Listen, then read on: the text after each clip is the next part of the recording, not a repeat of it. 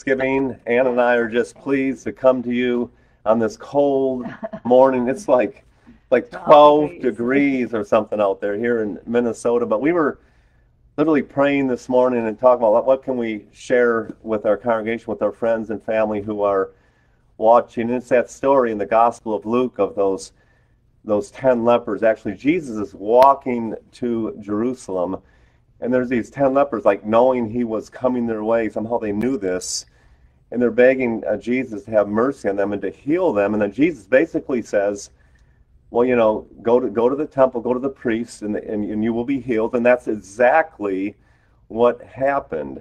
But out of those out of those uh, 10 only one came back to thank jesus to be grateful.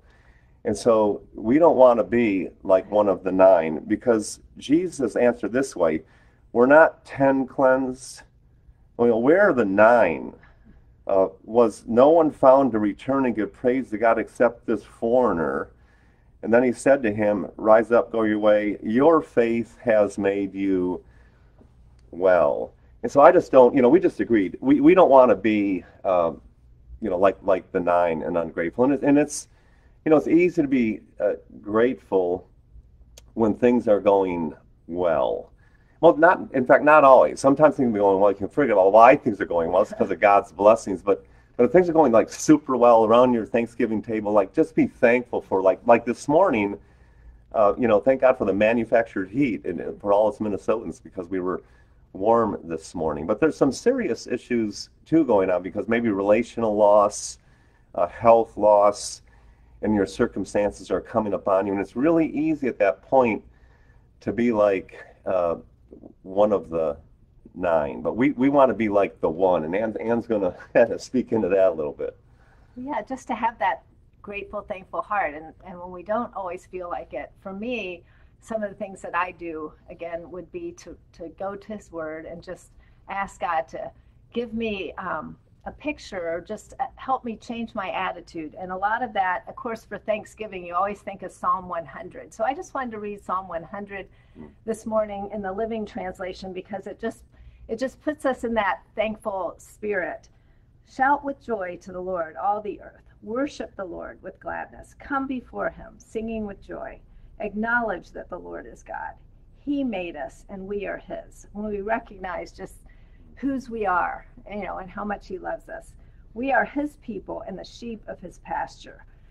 And Dave's just done a series on uh, the 23rd Psalm, and it, it just as I read that this morning, I was thinking about what a joy it is to be to have a good shepherd that's um, leading us in every in every season of our life. So we enter his gates with thanksgiving and go to his into his courts with praise.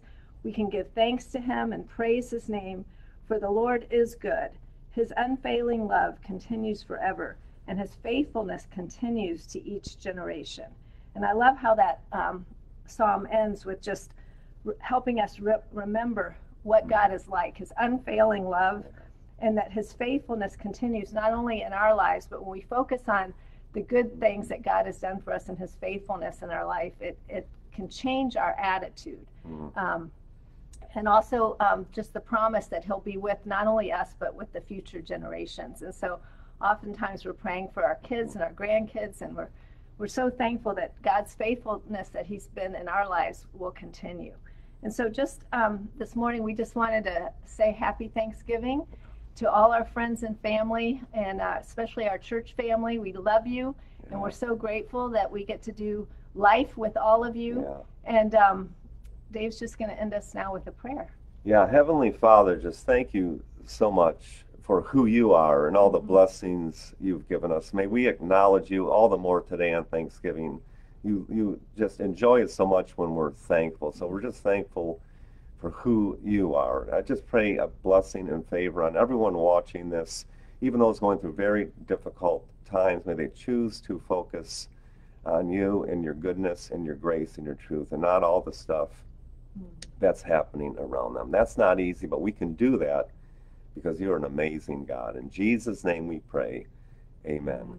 Hey, you all have a great celebration day today. Remember, we're not fighting for victory, we are fighting from victory. Jesus won the battle on the cross. Have a great day. Bye.